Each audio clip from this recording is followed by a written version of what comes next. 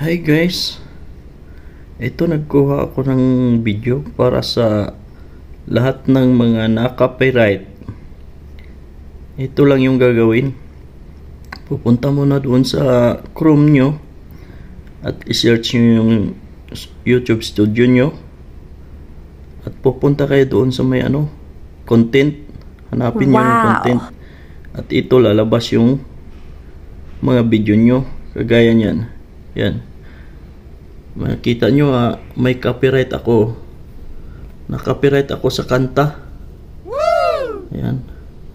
So, ang gagawin natin ito, pindutin natin yung, itapat natin yung ano sa laptop, yung arrow doon sa copyright. Kagaya niyan. Oh. At lalabas dito yung see details. Oh. Ito na yung lalabas. At dito, hahanapin nyo yung 3 dot dito sa baba o 3 dot. Ayan. Pindutin natin yung 3 dot at lalabas doon yung trim out segment replace song. Ayan. At piliin natin yung itong pindutin natin yung mute. Ayan. At pagkatapos, ito dito lalabas na siya yung mute. At i-pindot natin yung preview mute video. Ito, pindot natin yan. Oh. At lalabas doon yung ito, copyright natin dito yung copyright oh, may blue. At dito may mute dito sa baba, pindutin din natin at i-continue natin, pindutin natin yung continue. Ayan. Oh. Lalabas dito mute all sounds with uh, mute all sounds when song plays. Oh, ito pindutin natin yung mute. Ayan. At ito na yung lalabas. Oh. Yung 3 dot dito may mababasa kayong unavailable while video is processing. So, i-close na natin to. Close. Doon sa taas. Oh, yan. Close. Pindutan natin yung close. Mag-antay na lang tayo. So, yung lalabas dito sa copyright natin, yan, uh, checking 1 pound. Checking 1 pound. So, nag-process pa siya. Antayin natin hanap muna tayo ng ibang video kung mayroon pa ba o maya maya maano na siya mawawala yan ayan kagaya din ito ginawa ko na rin oh, checking 1 pound na rin copyright ko rin yan. Tapos mag-o-on na siya. Mag-o-on na yan.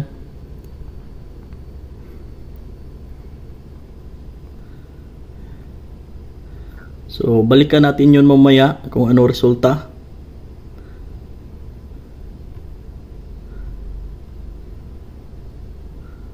Ayan. Itong alis na video, yung alis na yan, alis to uploads, yan ang uh, naging, nag, nag-copyright ko. Naging copyright ko.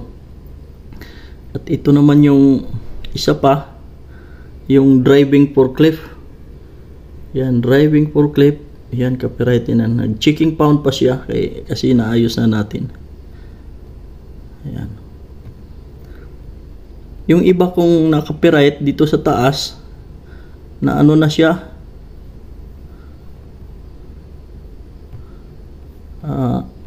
nagiging okay na. Ayan o. Dito may copyright ako dito banda. Eh, ginawa ko na itong ano, yung top view at night. Oh. Nagiging public na siya at na-on na siya oh. On. Wala na siyang copyright. Copyright yan siya. Ginawa ko ngayon. Ngayon okay na. Sana guys, makatulong to sa lahat ng mga baguhan. Sa disclaimer lang yung nakakaalam na nito.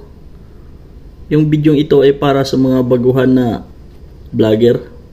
Kagaya ko eh, kinakapa ko lang din kung paano ah, tanggalin yung copyright sa music niya. kasi hindi natin maiwasan eh makapiright tayo sa music pero gamit lang kayo ng laptop maano na siya?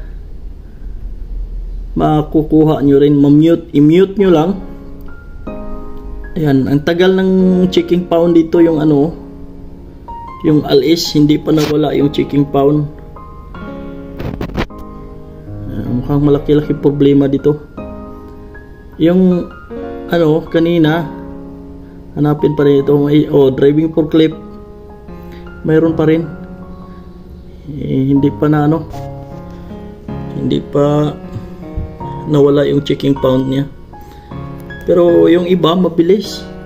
Kasi yung video ko lahat ano to? Bali pito yung ano nito copyright. Eh ngayon yung natira na lang ito ng dalawa. Dalawa na lang natira. Uh, matagal pa yung processing niya you know yung alis to uploads na video ko yan, nag-checking pound pa siya. Pero yung nauna kong mga bidyong minumute ko, ito, isa rin to guys, oh. Yung Airport Medina, Saudi Arabia na video ko, pagkatapos kong minumute, yung yung video ko, naka-off pa yung ano niya.